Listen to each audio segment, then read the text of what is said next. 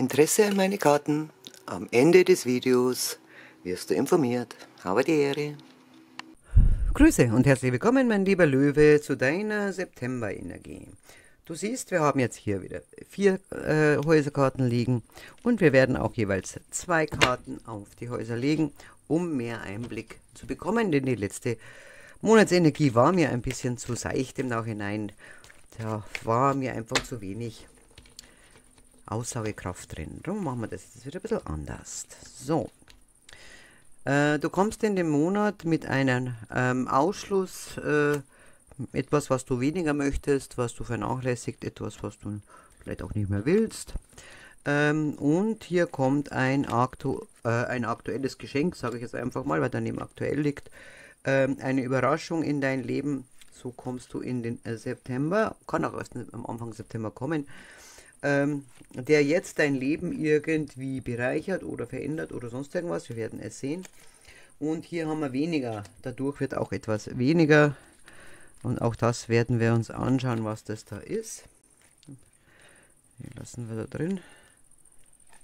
Und nehmen die dazu. So. Und da ich jetzt weiß, wo die ist, weil ich das nochmal mischen hier.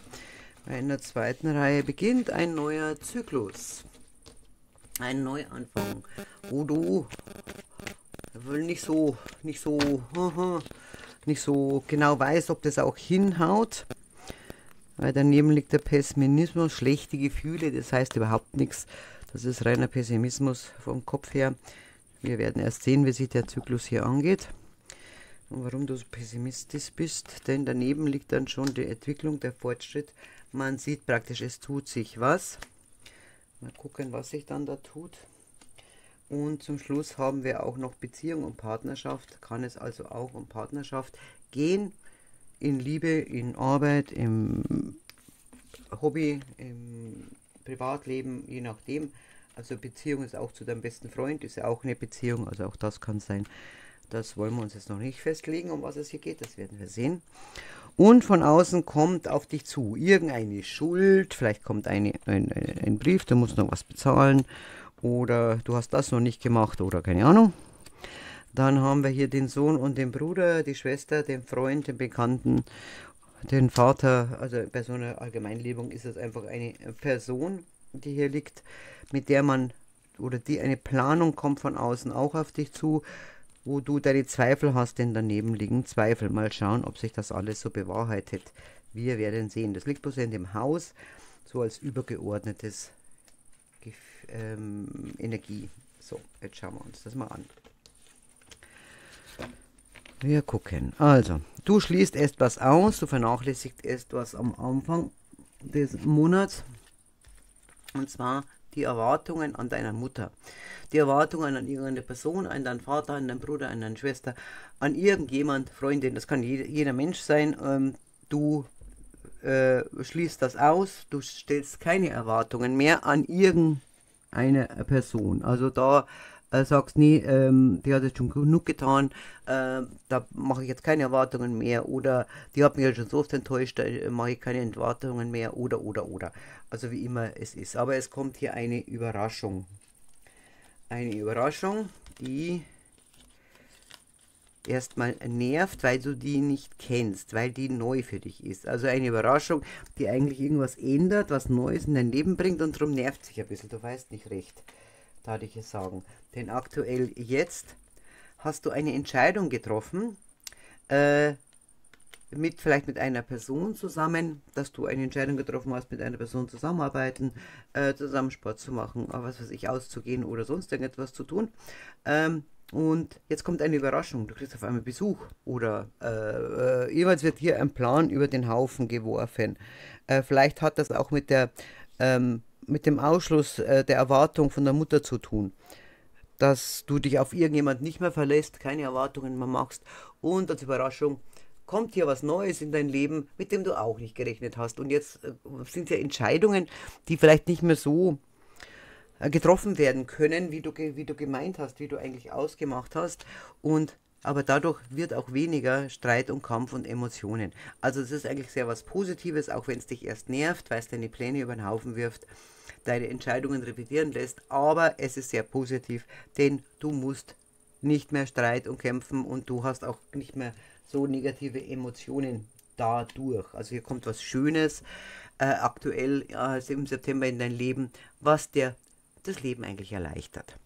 Denn hier beginnt ein neuer Zyklus, Aha, der Geld und Arbeit bringt. Das ist doch auch schön. Also hier kommt äh, Geld und Arbeit, also könnte das jetzt hier die Mutter hier oben auch eine Angestellte sein, äh, ein Arbeitskollege sein, äh, jemand, den, äh, das ist ja wieder blöd, das ist immer blöd.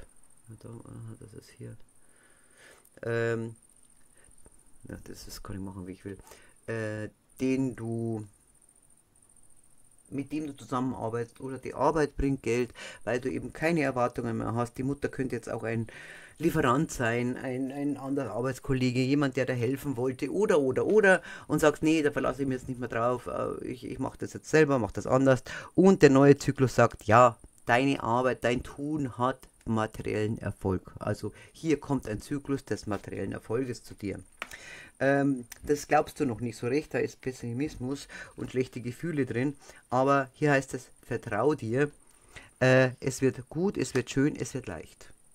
Also du hast zwar hier auch Arbeit, aber du hast auch genug Freizeit, auch wenn du es nicht glaubst. Hier kommt äh, Fortschritte in dein Leben, die dir Freude bringen, auch wenn du daran zweifelst. Also hier der Zweifel ist momentan ganz groß bei dir, aber es passiert alles gut. Es bringt Fortschritte, auch wenn du nicht daran glaubst. Es wird gut. Du siehst hier den Pessimismus, es wird gut. Hier die Fortschritte und hier ist dann wieder der Zweifel drin, der sagt, nee, es ist alles gut. In der Beziehung, äh, vielleicht auch in der Arbeit in der Beziehung, hast du deinen Partner drin und auch die Manifestation drin. Also eigentlich passiert im September genau das, was du möchtest, auch wenn du es nicht glaubst. Muss ich jetzt ganz ehrlich so sagen, äh, weil du hast äh, Pessimismus und Zweifel drin. Das heißt immer, ich glaube es nicht, oh, wenn dann doch noch was kommt oder oder oder. Kann auch daher kommen, weil es am Anfang des Monats ja irgendwas hier umschmeißt äh, und dann aber trotzdem gut wird obwohl was Neues kommt, obwohl du was umschmeißen wirst. Vielleicht ist dann das der Pessimismus, der, wenn das nicht klappt, dann klappt das das auch nicht und keine Ahnung. Ähm, aber es wird schön. Und die Beziehung zu deinem Partner wird auch manifestär. Äh, mani ähm, du manifestierst das, was da kommen soll. Du äh, glaubst daran. Also hier kommt auch in der Partnerbeziehung etwas sehr Schönes. Ähm, wenn ihr Streit hattet in letzter Zeit, wird auch das weniger. Und aktuell kommen ganz viele positive Entscheidungen in dein Leben, die, auch wenn du es anzweifelst, sehr viel Freude mit sich bringt. Äh, Fremde bringen auch eine sehr positive Überraschung. Und neuer Zyklus mit Arbeit und Geld beginnt. Verantwortlich fühlen oder Schuld liegt hier. Das sind Glaubenssätze, die dir Stress machen. Also du siehst das selber, du brauchst keine Schuld haben. Das sind äh, Schuldthemen, die von außen auf dich zukommen. Ähm, ähm, es gibt so, ähm, äh, so Sprichwörter, ähm, das Geld nicht, liegt nicht auf der Straße, man muss fest arbeiten für sein Geld und, und, und das ist, nervt mich so dermaßen, dass das so spiegelt, aber ich kann es nicht ändern. Ähm, äh, das sind Glaubenssätze die machen dir Schuldgefühle. Du siehst ja, du hast hier Freizeit, mehr Freizeit als du glaubst. Äh, du brauchst da bloß darauf vertrauen, weil hier kommt Freude und Freizeit trotzdem mit rein, obwohl du relativ gut Geld verdienst. Und dann heißt es, ich kann doch jetzt nicht schon wieder Urlaub machen, ich war doch erst im Urlaub. Oder, oder, oder, oder, oder. Das sind Glaubenssätze, wo du dann Schuldgefühle kriegst. Die, die sind völlig um, umsonst. Oder die kommen von außen auf dich zu. Ähm, dass dir äh, jemand sagt, äh, also du kannst ja nicht schon wieder in Urlaub gehen. Äh, äh, das geht vom, vom Geschäft her doch gar nicht. Und, und, und keine Ahnung. Ähm, du hast ja jetzt äh, diese Person hier im, im, im, im Geschäft, sag mal, du bist selbstständig, im Geschäft ähm, entlassen, ausgeschlossen, vernachlässigt, musst das jetzt selber machen, jetzt gehst du schon wieder in Urlaub. Das geht doch nicht. Kann aber von außen auf dich zukommen, ist aber nicht so. Hier haben wir Sohn, Bruder, Schwester, Freund oder sonst irgendwas. Also hier liegt wirklich Familie drin, die hier eine Lösung bringt dass du hier wirklich Freizeit und alles Mögliche haben kannst. Also diese Schuldgefühle sind völlig umsonst. Hier kommt die Lösung von außen, ganz von alleine. Und hier ist deine äh, Planung, deine neue Ordnung und du siehst auch die Planung der Vergangenheit. Dadurch kommen auch die Zweifel. Es kommt jetzt Freude in dein Leben, sehr viel Freizeit, du musst nur vertrauen, Lösungen kommen von der Familie ähm, und die Planung der Vergangenheit kommt jetzt auf dich zu. Eigentlich wollte ich ja um diese Zeit jetzt das und das machen oder als nächstes das und das machen. Ähm, die äh, siehst du, was hat hingehaut, was hat nicht hingehaut, äh, aber du siehst die Fortschritte, Du siehst aktuell, dass nicht alle Entscheidungen greifen, dass man aber auch nicht alle Entscheidungen umsetzen muss, dass man sich umentscheiden kann, weil man eben neue Infos hat und so weiter. Also, dass die Planungen der Vergangenheit nicht immer so kommen, wie man möchte, aber es trotzdem Anschluss zur Freude bringt, auch wenn du es bezweifelst. Zum Schluss heißt es wieder skeptisch und das ist der, der, der Zweifel, den wir hier schon haben in deine Fortschritte. da haben wir die Gefahr und deine Seele. Und das, lieber Löwe, kommt einfach daher, weil du ein Kopfmensch bist, äh, weil du, weil der, dein Ego dir erzählt, überall ist Gefahr, äh, Gefahr in der Beziehung. Ähm, hier kommt was Neues, wir kennen es nicht, ja, das ist vielleicht jetzt momentan ganz schön, aber man weiß ja nicht, ob es bleibt. Das ist die Gefahr, die der Ego dir sagt, deine Seele sieht alle Lösungen, brauchst keinen Stress haben, siehst du, die, die weiß alles. Also dein Inneres, dein Inneres sagt dir alles, was du wissen musst und wissen möchtest. Jetzt schauen wir uns das nochmal an. Also rundherum heißt äh, schöner, schöner September, auch wenn du nicht dran glaubst, auch wenn du dran zweifelst. Äh, finanziell äh, kommen Erlösungen äh, von außen auf dich zu. Äh, vielleicht auch ein paar Zahlungen, das ist möglich, aber die, die, die wuppst du leicht. Da kriegst das kriegst du alles hin. Äh, ja, äh, da kann sein, dass du einen Seelenpartner hast, also einen Partner schon länger Zeit hast und hier sich immer wieder mal äh, Beziehungsstress angebahnt hat und, und man sich nicht mehr ganz so einig war und dann noch wie vor eine Gefahr sieht, aber auch die Beziehung äh, profitiert von dem Positiven, was sich hier entwickelt im September. Auch da sehe ich die Gefahr nicht mehr. Die liegt mehr in der Vergangenheit. Ähm, was haben wir hier noch liegen? Ja, Arbeit mit der Familie kann sein, dass du mit der Familie oder durch, äh, äh, ja, in der Familie arbeitest. Homeoffice kann auch Familie sein. Also das alles Mögliche liegt hier drin, aber auch Selbstständigkeit, äh, die dir Freude bringen und auch wenn du immer wieder der Zweifel, auch wenn du daran zweifelst. Wir haben hier die, die Erwartungen, die du nicht mehr an die Mutter, vielleicht auch von der Familie, äh, wo du keine Erwartungen mehr hast und äh, wo nervige Sachen von außen kommen, weil die Erwartungen einfach nicht mehr da sind. Ja, du hast da Angst. Das ist, ist, ist ein Quatsch, das ist positive Überraschung. Ähm, vielleicht ähm, Angst, eine falsche Entscheidung zu treffen. Mal schauen, was da noch kommt. Äh, aktuell, nein, Bewusstsein, okay. Ähm, das ist wieder Ego. Das ist hier, liegt das gleiche wie hier unten, die Gefahr Dafür hast du deine Seele, dein Innerstes, was dir Recht gibt oder äh, dagegen spricht, gegen deine Ego-Entscheidungen. Die sagt dir schon, was richtig ist. Und die, ähm, deine Erwartungen runterzuschrauben an anderen Personen macht dir Angst, aus welchen Gründen auch immer, weil von außen immer wieder was Nerviges kommt. Aber das ist äh, eigentlich zweitrangig im September, denn du wirst nämlich merken, dass das Neue, was hier kommt und aktuell entschieden worden ist, bewusst entschieden worden ist, auch wirklich Bestand hat und erfolgreich wird, auch wenn du es nicht glaubst. Und hier haben wir wieder Minderung der Sorgen, weil wir ja auf Minderung liegen. Also das, was du aktuell im Plan hast, was du aktuell entscheidest, äh, sollte trotz aller Pessimismus positiv werden. Und wir haben ja eh gesehen, dass sich der September positiv entwickelt. Arbeit, Geld, äh, Vertrauen und äh, Freizeit. Da liegt jetzt die Tochter drauf, hier haben wir schon Sohn, hier haben wir die Mutter, also viele Menschen liegen um dich rum, Partner haben auch schon rumliegen.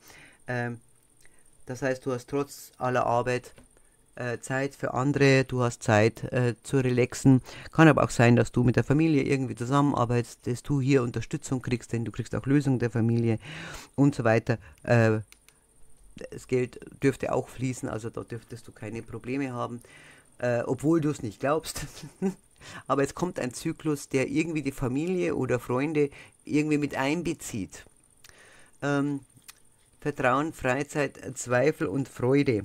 Ja, Meldungen. Das sind einfach, es, du siehst es gut, aber von außen wird da was anderes erzählt. Meldungen erzählen was anderes. Äh, sie können jetzt kein Geschäft öffnen, es wird alles immer schlimmer und, und, und äh, so und so viel haben wir dazu gemacht und keine Ahnung, 5000 sind entlassen worden und ich weiß nicht, was immer alles erzählt wird in den Meldungen und du hast, siehst es zwar, dass es gut ist bei dir, aber durch diese Meldungen fängst du immer wieder an zu zweifeln. Und da haben wir wieder Kopf. Da ist die einfache Gefahr. Der Skepsis ist immer der Kopf, der das Skepsis macht. Schau, was du fühlst, schau, was ist bei dir. Freude, Zweifel der Beziehung ist irgendwas Offizielles. Ja, keine Ahnung. Ah. Vielleicht möchte man heiraten, vielleicht möchte man zusammenziehen, ähm, vielleicht kriegt man ein Kind oder sonst irgendwas. Hier möchte man etwas in der Beziehung, was man sich auch gewünscht hat. Das passiert auch. Und trotzdem, äh, man zweifelt im September an allem. Du zweifelst eigentlich an allem, obwohl es in deinem Leben nicht schlecht ausschaut. Aber von außen, weil offizielle Sachen kommen auch von außen, erzählen auch immer wieder was anderes. Aber deine Familie steht hinter dir, auch der Partner steht hinter dir und äh, bringen immer wieder Lösungen schau auf dein Leben und nicht auf das Leben von Meldungen. Die liegen ja ganz, ganz in der Mitte. Äh, komm raus aus dem Kopf. Schau in dein Leben. Äh, die Schuldgefühle, äh, die durch Glaubenssätze äh, verursacht werden, ja, die kommen und gehen ähm, ist zum Beispiel auch online, du hast einen Online-Handel zum Beispiel oder äh, verdienst auch online dein Geld, wie auch immer, ach, das geht doch nicht und auf Dauer wird doch das nichts und bla bla bla, was halt Familie so erzählt. Auf der anderen Seite bringt die Familie auch immer wieder die Lösung, weil man hier einen Austausch hat. Also hier muss man nicht äh, negativ sein. Die Familie weiß immer eine Lösung. Irgendjemand in der Familie hat eine Lösung, man muss sich bloß mal unterhalten äh, Familie, Planung sichtbar im Leben ist die Vergangenheit. Da gibt es Aufregung, aber wie sie ausschaut, sehr positive Aufregung, weil es ja Lösungen sind. Und hier Gefahr äh, von der ja, Gefahr, die eigentlich die Seele entgegenwirkt und die liegt bei dir Körper drauf. Das heißt, du solltest, äh, um aus dem Kopf zu kommen, körperlich, äh, körperliche ähm, Betätigung machen. Ähm, äh, bei dir steckt die Angst im Körper und wenn du dich Körper aus, äh, körperlich auspowerst, laufen gehst, äh, ähm, irgendein Training machst, äh, irgendeinen Sport machst, powerst du die Angst mit aus. Also du, du bist im September nicht wirklich ausgeglichen, obwohl alles läuft, weil du zu sehr im Kopf bist. Und das hatte ich beim Skorpion auch. Also der Skorpion ist auch sehr, sehr im Kopf. Ich hatte aber auch schon sehr, sehr, sehr gute Legungen. Also würde ich mal gucken in deiner Stelle, was ist denn dein, äh, dein, dein Aszendent zum Beispiel und da nochmal schauen. Aber ich hatte wirklich schon sehr, sehr gute Legungen. Ähm, es muss so nicht bleiben. Und bei dir ist es wirklich so, du siehst es selber, das bringt ein neuer Zyklus mit Arbeit und Geld. Also und aber auch genug Freizeit. Du musst nur vertrauen. Du glaubst nichts und trotzdem ist gut. Du glaubst nicht dem, was du erlebst, du glaubst dem, was andere erzählen, was die Meldungen sind. Die erzählen immer, keine Ahnung, du hast jetzt irgendein Online-Ding und jetzt kommt die KI, jetzt bist du arbeitslos oder, oder keine Ahnung was. Ähm, das wird alles ganz fürchterlich schlimm. Nein, ähm, du siehst jetzt schon, dass die Planung, die du in der Vergangenheit hattest, aufgeht in gewisser Art und Weise. Äh, vielleicht nicht ganz so, wie du geplant hast, aber sie geht auf. Das ist auf, äh, äh, aufregend. Die Familie hat auch hier eine Lösung. Und Familie muss jetzt nicht Bruder, Schwester nur sein, es können auch Freunde sein oder so, die hier immer wieder auch Lösungen bringen. Ähm, die kommen von außen auf dich zu, man muss nur reden. Lass dir hier nicht so viel äh, großen Kopf machen ähm, von offiziellen Sachen. Vielleicht hast du auch eine Steuernachzahlung oder, oder, oder. Ich weiß es nicht genau, äh, was bei dir hier so abläuft. Äh, kann auch jetzt äh, offizielle Sachen können auch Hobby und Sport sein, das äh, nicht so klappt, obwohl du siehst äh, äh, Fortschritt, aber die anderen sagen, du bist so schlecht, obwohl es gar nicht wahr ist. Ja, da ist auch viel Blödsinn drin. Ähm, das Einzige, da legen wir jetzt nochmal drauf, ist der Ausschluss, die Vernachlässigung der Erwartung der Mutter. Da hast du Angst. Also das, das weiß ich noch nicht ganz, was das bedeuten soll weil du jetzt da Angst drauf liegt, warum hast du da Angst? Schauen wir mal. Geldfluss und Lüge. Okay. Ähm, ja, vielleicht machst du dir wirklich Sorgen um deine Mutter. Ähm, dass sie dich vielleicht anschwindelt. Wenn du sagst, Mama, hast du schon genug Geld, kommst du schon zurecht. Und sie sagt, ja, ja, schon, schaffe ich alles und so. Dass du hier einfach äh, glaubst, äh, ihr nicht glaubst. Weil hier geht es nämlich um, um, um einen aktiven Fluss oder Mama, geht's dir gut? Ja, ja, es geht mir gut. Äh, und du glaubst dir nicht. Also hier ist etwas, du glaubst der Mutter oder welche Person das immer ist, nicht dem, was sie sagt. Also ein aktiver Fluss ist für dich eine Lüge. Also es irgendwie fließt bei der Person nicht und darum machst du dir Sorgen.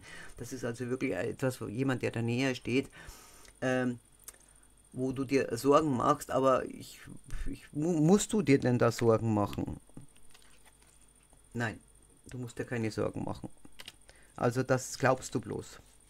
Das ist eine Erwartungshaltung. Äh, deine Mutter ist jetzt schon so alt, folgedessen wird sie jetzt krank oder kann nicht mehr so. Äh, weil das ist die, die, der Platz der Vernachlässigung, dass du vielleicht ein schlechtes Gefühl hast, Angst hast, weil du deine Mutter vernachlässigst oder, oder, oder, weil du nicht glaubst, dass ihr gut geht. Aber ich habe gefragt, musst du Angst haben? Nein, sei froh, dass so ist, wie es ist. Du musst da keine Angst haben. Das ist alles Kopf. Das ist alles Kopf. Weil man weiß der Himmel, was man dir erzählt oder was man dir da äh, vormacht. Also deine Mama geht's gut. Wenn es die Mama ist, der Papa, der Bruder, die Schwester, wer auch immer diese Mutter hier darstellt. Ähm, und jetzt möchte ich mal wissen, wie wir das machen oder wie du das machen kannst, dass dieser Pessimismus, dieses Zweifel, die hier im September vorherrschen, obwohl hier ähm, eigentlich alles gut liegt, sogar ein neuer positiver Zyklus beginnt und trotzdem bist du pessimistisch. Warum? Was kann man denn da tun? Schutz, innerlich fühlen und erkennen und Zuversicht. Inneres Kind. Okay. Ähm, das heißt, was kann man tun? Du kannst. Zuversicht ist schon mal hier. Seele. In dich hinein fühlen. Und innerlicher Schutz fühlen und erkennen. Das ist hier. Das ist die Seele. Das ist, du bist geschützt. Äh, du musst nicht pessimistisch sein. Hier heißt wirklich, du kannst zuversichtlich sein. Du bist geschützt ähm, das muss man nur erkennen. Das muss man nur erfühlen, weil das sagen ja auch die ganzen Karten hier. Äh, aller Streit, Kampf, Emotionen und Sorgen werden weniger. Das geht alles raus, weil du aktuell eine positive, bewusste Entscheidung triffst, die Fortschritte bringt, die einen neuen Zyklus der Arbeit und des Geldes bringt, wo du auch Freizeit hast, wo du Freude hast, auch auch in der Beziehung, obwohl du das alles bezweifelst, weil immer wieder Meldungen kommen, die dir nicht gefallen, weil von außen ähm, äh, dir erzählt wird, äh, deine Glaubenssätze angetriggert werden. Nein, musst du alles nicht haben. Ähm, das ist, wird alles gut. Du musst ja überhaupt keine Sorgen machen. Und der Rat ist hier, mach körperlich einiges, um diese, um wieder zu dir zu kommen. Du kannst, und das hast du in der Vergangenheit wahrscheinlich schon getan, körperliche Aufregung erlebt, äh, ähm, körperliche Lösung gefunden, also durch Sport, durch, durch irgendetwas, wo man sich auspowert, wo man ganz auf den Körper konzentriert ist, die ganzen Sorgen, Ängste, alles mal fallen lässt und wirklich auf den Körper äh, ähm, reduziert ist und sich da richtig verausgabt, ähm, lässt man nicht nur körperlich fettlos und, und schwitzt ganz fürchterlich und so, sondern man lässt auch Schuldgefühle los, man lässt Ängste los. Das geht alles einfach mit raus. Die Sorgen werden weniger und so weiter. Die können zwar wiederkommen dann. Äh, nach dem Sport fühlt man sich zwar ausgelaugt und fertig, aber man fällt ins Bett oder auf die Liege oder sonst irgendwo hin und sagt, boah, und so, so, richtig, jetzt ist es schön, ich kann jetzt richtig runterfallen, weil man alles losgelassen hat. Wenn du dann wieder im Leben bist, können diese Sorgen zwar wiederkommen, aber du hast erstmal losgelassen, du hast gemerkt, du kannst runterfahren und dann wird es ja sowieso weniger. Du erkennst es.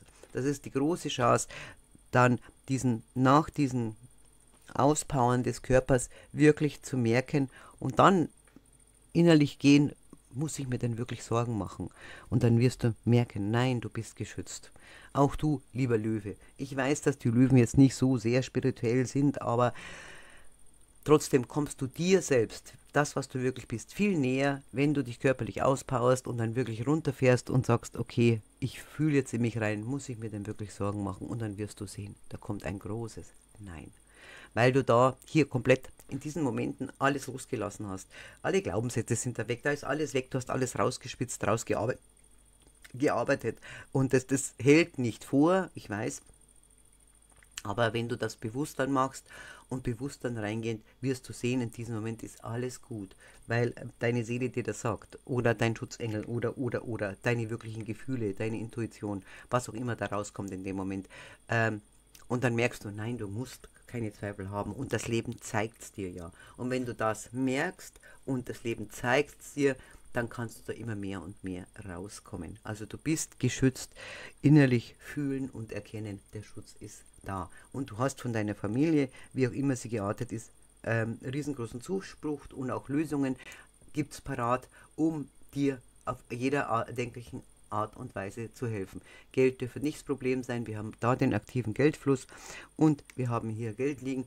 Der aktive Geldfluss liegt zwar auf der Mutter, der du nicht vertraust, oder der Person, um der du Angst hast, weil du die vielleicht vernachlässigst oder sonst irgendwas, oder du glaubst, sie sagt ja nicht die Wahrheit, aber der geht's gut musst du dir auch keine Sorgen machen. Das ist alles Kopf. Komm raus aus dem Kopf, komm im Fühlen und alles ist gut, denn dein Leben im September ist schön. In diesem Sinne, mein lieber Löwe, habe die Ehre. Grüße. Meine Karten sind nun endlich fertig. Und da ich immer wieder gefragt werde, ja, man kann sie auch kaufen. Ich habe da eine Kleinauflage machen lassen und im Kartendeck sind, hier steht 115 Karten, stimmt aber nicht, es sind 117 Karten, denn ich habe drei Leerkarten mitmachen lassen, das ist die Schachtel von mir, ähm, dass ihr eure eigenen Beschriftungen, wenn ihr mehr Kinder habt, Opa oder oder oder drauf machen wollt, äh, dabei habt. Ähm, also sind es 117 Karten und kosten 59 Euro. Ich blende jetzt hier irgendwo meine E-Mail-Adresse ein und auch den Preis und möchte euch ganz kurz, äh, für die, die es nicht wissen, diese Rückseite mal ganz kurz vorlesen. Dauert gar nicht lang, nur dass ihr wisst, was ich damit meine. Du kannst auf üblicherweise Karten lehnen und schauen, was dich in der Zukunft erwarten könnte erwarten könnte, weil du der Gestalter deines Lebens bist. Du kannst aber auch herausfinden, warum die Zukunft sich nicht so zeigt, wie du gerne möchtest. Du kannst lernen, was du ändern musst, um das gewünschte Ergebnis im Leben zu erreichen. Dieses Kartendeck ist entwickelt, um auf leichte Art zu erkennen, warum das Leben nicht wunderschön ist. Sie zeigt dir, wohin du schauen musst, was du ändern musst, darfst, in dir, um deinen Weg zu gehen. Der Weg deines Lebens, der erfüllend und glücklich ist. Denn das ist meines Erachtens der Sinn des Lebens. Ein Leben, in dem du lernen und lehren kannst, auf diesen Weg, auf dessen Weg die Sonne scheint. Natürlich wird es ab und zu mal regnen, aber das vergeht sehr schnell wieder. Und alles blüht danach noch schön und üppiger. Ich sage, das Leben ist ein Ponyhof. Lerne es zu leben. Das ist das, was auf der Rückseite steht und das sind meine eigenen Worte und auch das, was ich mit diesen Karten ausdrücken will, machen, äh, äh, machen wollte. Mit diesen Karten kannst du wirklich dein Leben in den Griff bekommen, weil sie dir wirklich zeigen, wo du hinschauen musst und wie du es machen kannst. Ich erstelle ein Video, da ist nämlich kein Buch dabei, also keine Anleitung dabei. Sie brauchen keine Anleitung und vor allem wäre so eine Anleitung oder ein kleines Buch noch viel, viel teurer geworden. Und darum mache ich das online. Ich bin gerade dabei, jede einzelne Karte zu benennen jede einzelne Karte zu zeigen, in einer Dreierlegung, in einer Neunerlegung, äh, wie man sie kombinieren kann, was daraus zu deuten ist, fürs Leben, aber auch für die Energien. Und das ist eben ganz wichtig, wenn du damit arbeiten willst äh, und rausfinden willst, äh, wo muss ich denn hinschauen, warum klappt es mit dem Geld nicht. Und da kann ich dir versprechen, sie können wirklich, wirklich helfen. Und wenn ich alle Karten durch habe, wird so in zwei Wochen so sein, kriegst du auch den Link dazu. Da kannst du dann wirklich einzeln jede Karte anklicken und äh, dir das anschauen. Und danach werde ich dann ein äh, großes Video machen mit all meinen äh, Legesystemen. Und die sind zu na, 95 Prozent meine eigenen Systeme, äh, die ich dir alle vorstellen werde und auch sagen werde, äh, wie du damit arbeiten kannst, für dich selbst oder für andere, wie du es halt möchtest. Und äh, ich kann bloß sagen, meine Karten haben mir unwahrscheinlich geholfen und helfen immer noch. Du musst nicht, du darfst gerne und in diesem Sinne wünsche ich euch einen wunderschönen Tag. Habe die Ehre.